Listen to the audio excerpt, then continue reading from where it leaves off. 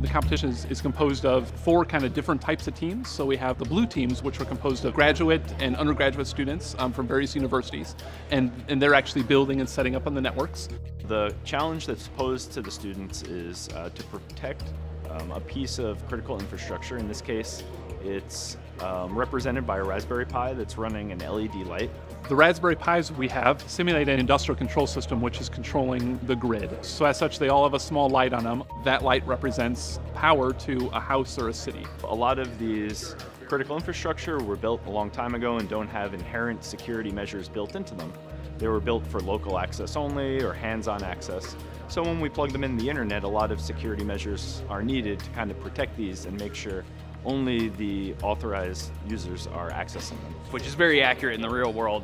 Um, there's no authentication, there's no encryption, there's no security, and so you have to build security around that stuff.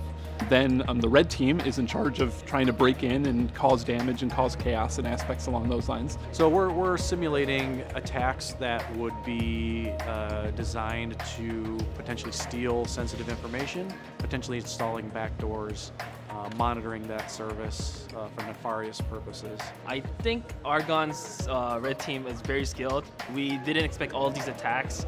We thought we thought from our previous experience we might have learned more with security and patch up all these previous mistakes we made, but I guess there's more mistakes we make and there's a lot of loopholes that we didn't find, backdoors, and we're still learning in the in the phase that we're uh, while we're doing this uh, competition. So uh, there was a there was a couple teams where we had kind of a back and forth going on, and so obviously when you get privileged access, that's kind of a really exciting thing. This is the first time seeing the real-time attacks. So how they're attacking, how how we are defending. So it's really amazing. And then you kind of wait and see how long it takes for the team to realize you're there and then you can start seeing the teams like do things to remove your access. But we try to stay one step ahead, which is we create additional methods of access, additional backdoors. It gives you like an environment to practice in with like I guess not as serious of consequences.